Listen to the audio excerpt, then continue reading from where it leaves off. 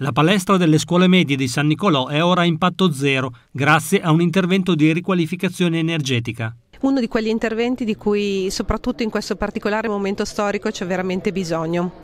La palestra avrà quindi impatto zero grazie al cappotto esterno, alla sostituzione degli infissi, alla sostituzione dell'impianto con una nuova pompa di calore e all'installazione di oltre 24 kW di fotovoltaico. L'importo è stato di oltre 750.000 euro, ottenuti grazie a un finanziamento statale. Quindi questo intervento è costato 0 euro per quanto riguarda i cittadini di Rottofreno. Il comune ha poi aggiunto 85.000 euro per il rifacimento della pavimentazione e la sistemazione del tetto.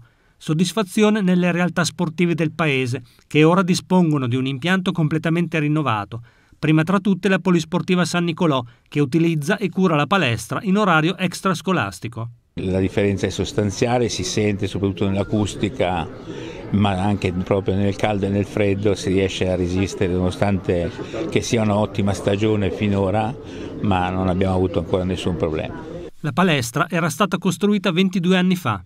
Questa è una bella palestra tipo palazzetto che comunque ha risolto molti problemi eh, nel nostro territorio perché c'era una palestra prima del, 2000, del, del 2000 era piccolina, bassa, quindi c'erano grossi problemi.